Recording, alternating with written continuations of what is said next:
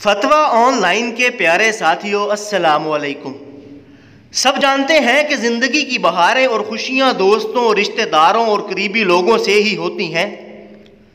कुछ काम ऐसे भी हैं जिनके करने से आप अपनी ज़िंदगी में तनहा रह जाते हैं।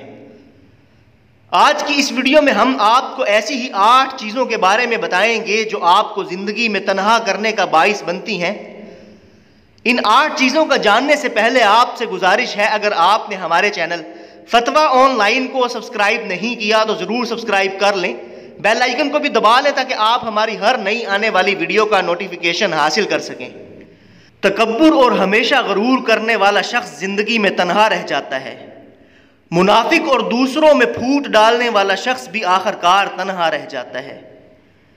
हर वक्त दूसरों को शक की निगाह से देखने वाला शख्स तनहा रह जाता है।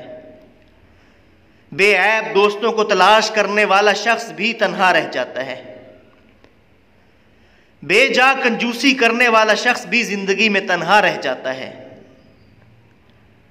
सख्त लहजे और हर वक्त गुस्से में बात करने वाला शख्स भी आखिरकार तनहा रह जाता है।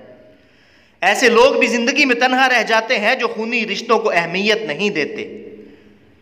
मुखलिस दोस्तों की कदर ना करने वाला शख्स भी ज़िंदगी में तनहा रह जाता है। इन तमाम बातों से बचें और एक खुशगवार ज़िंदगी गुजारने की कोशिश करें।